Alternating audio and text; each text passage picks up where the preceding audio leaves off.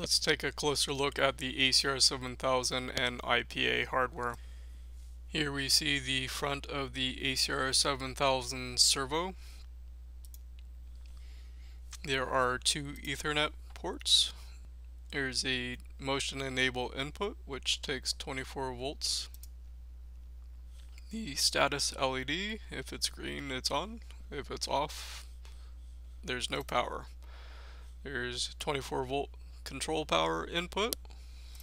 The I.O. connectors are 26 pin high density and you've got one for every two axes.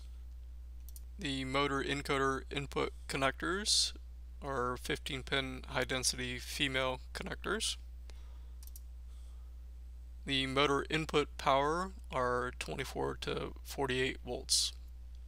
The motor connectors are on the bottom of the 7000 controller You've got the three motor phases plus the ground. The brake output is the other two pins on there. Note the 7000 servo actually will power the brakes directly. Previous generation products were always a uh, brake relay. This actually will supply 24 volts output when the drive is enabled for any fail-safe brakes the 7000 servo and controller have a enable input on the front. This is 5 to 24 volt input. Pulling these will immediately kill all motion and disable all drives. It won't stop the programs from running, but if the program commands a new move while this is on, then the motion program will halt. Other programs could still be running and an error recovery program can be um, programmed to monitor this. When the enable input is pulled, it sets the axis kill all motion request flag and sets the kill on all the masters, which are the interpolators. The DACs are forced to zero and the step pulse generation is blocked. This is a similar design as the previous generation ACR 9000. The 7000 servo has the 26 pin uh, general purpose I.O. connectors. There's 12 general purpose digital inputs the 8 axis will be double that, uh, 24. There's 8 high-speed trigger inputs for encoder capture. If you're not using them, then you can use them as general purpose inputs.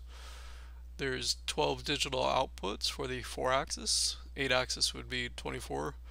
There's uh, two analog inputs, one per each uh, pair of axes, well 12-bit resolution. The Axis encoder has a standard quadrature encoder input.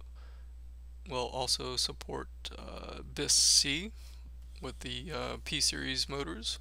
Um, it's the same pinout as the IPA and the previous generation Aries and VIX drives.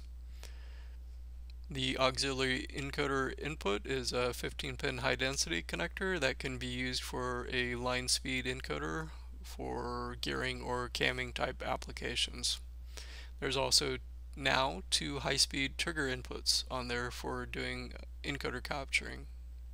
They are fully compatible with NPN type circuitry, so if you take an input and just connect it to ground, the current flows from the 24 volt internal pull up out the input to ground. So if you just uh, jumper it to ground, that will activate the input. So that's how the inputs work.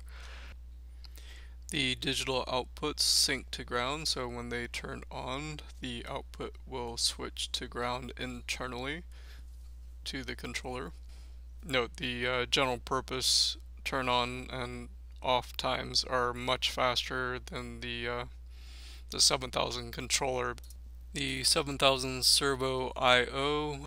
six inputs on the first pins and then the uh, high-speed inputs on the next four pins you've got the four digital outputs and then the 24 volts there's an analog input on uh, pins 20 and 21 and then you also have a 5 volt output on pins 22 and 23 all the grounds are tied together um, between the connectors as well too. So they're all uh, tied to the same ground.